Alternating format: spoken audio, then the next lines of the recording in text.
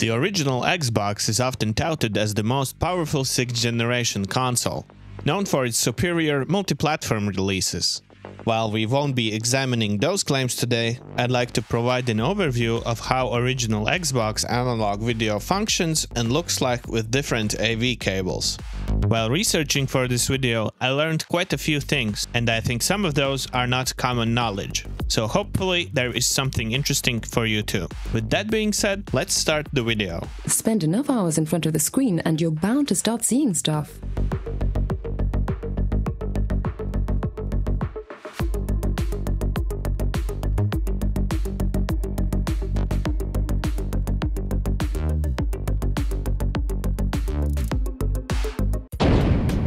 It's showtime! There are a few quirks and interesting tidbits to discuss when it comes to optimizing the image output of your Xbox. However, before we dive into that, it's important to note that this video won't be covering HDMI adapters or HDMI mods.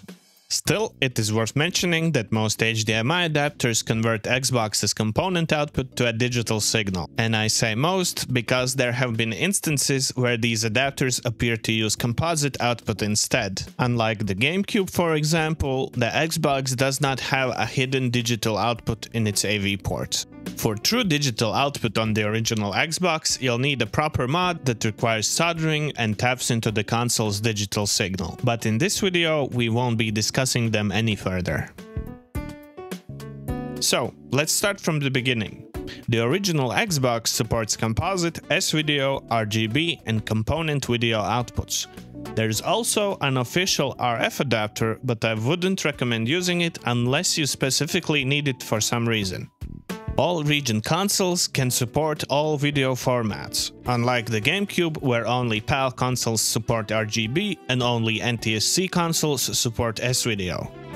Xbox can support 480i, 480p, 576i, 720p, and 1080i resolutions.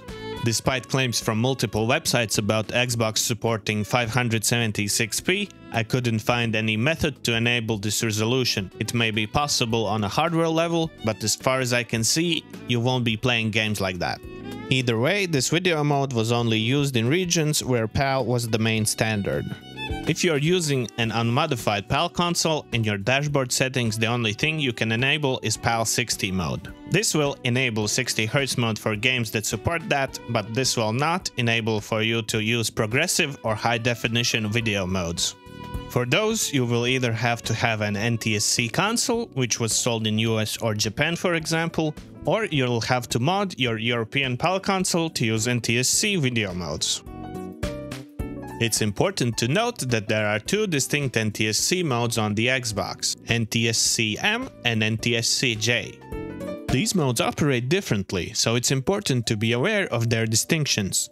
If you live in a region where PAL consoles were prevalent and encounter issues with black levels when switching to NTSC video mode, where black color appears closer to gray, consider switching to NTSC-J instead. NTSC-J uses 0 IRE units for black color, same as PAL, whereas NTSC-M uses 7.5 IRE units for its black color. This difference means that black starts further down the scale, which can result in incorrect black levels on PAL or 0 IRE calibrated equipment.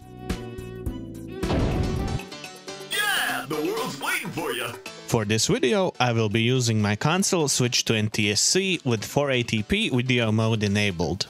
I won't be using widescreen, but the Xbox has many games that support that, and some even support 720p and 1080i image output. We will be comparing three different video encoders that are used in Xbox consoles.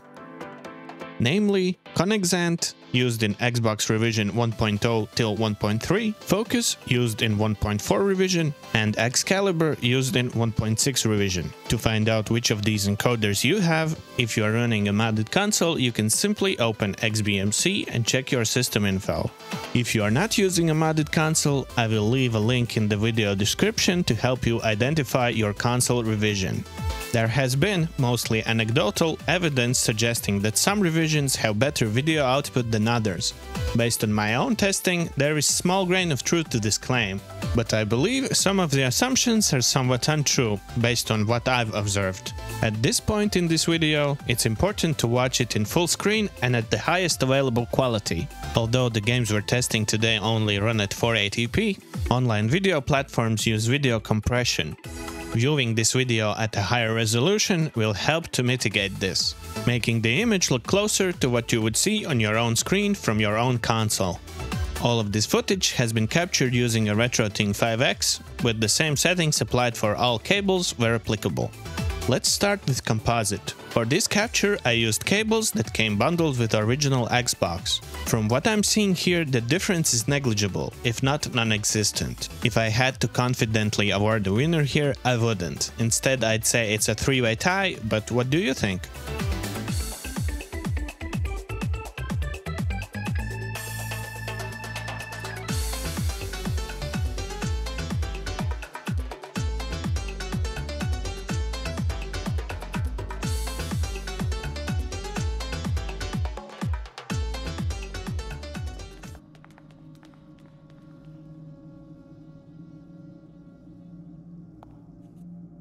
Be brief, Miss Croft. I have many demands on my time, you understand. Of course, Takamoto-san. I am looking for a piece, a sword fragment, in the care of Waseda University, or it was until you stole it. I am not a thief. And you would be wise to avoid such accusations. Then I suggest we skip to the negotiations. I don't have any idea what you are talking about. Next in our list is S-Video. For capturing S-Video, I used my own DIY made cables. And I utilized RetroTINK's ability to get S-Video from RCA connectors. S-Video definitely looks better than composite. And if you have equipment that's compatible with it, I think it's a worthwhile upgrade. Now that we are looking at S-Video capture, I have a feeling that Conexant encoder is slightly blurrier than others. Still, I feel the difference is not big enough to specifically look out for other revisions if you have this one.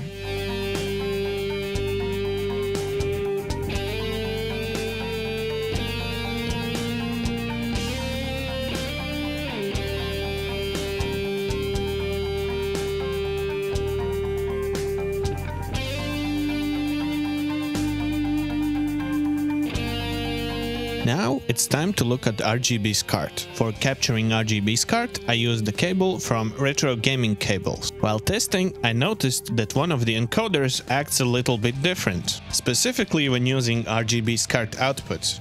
The Conexant and Excalibur encoders don't seem to differentiate between NTSC-M and NTSC-J black levels. They both use 0 IRE.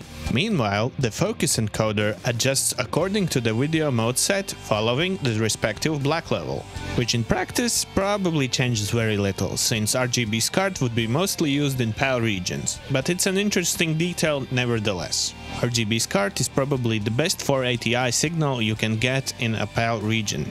That is, if you specifically want NTSC 60Hz output.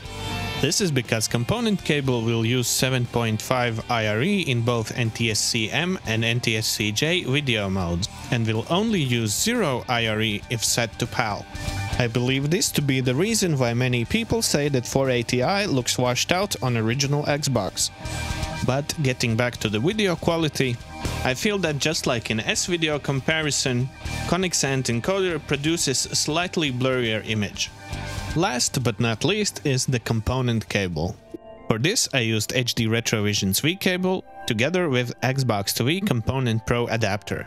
Unlike the PlayStation 2, which can output a progressive scan video signal through an RGB cable, the Xbox is limited to achieving this with only a component cable. And as is expected, this is the best image so far. But as is not expected, popular internet belief that Excalibur video encoder produces slightly less sharp image output with component seems to be somewhat true. Though when someone calls it bad, I'd call it a huge over-exaggeration.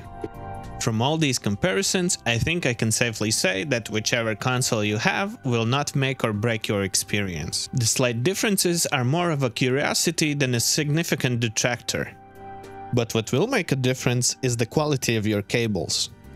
Originally, I had an RGB SCART cable bought from AliExpress.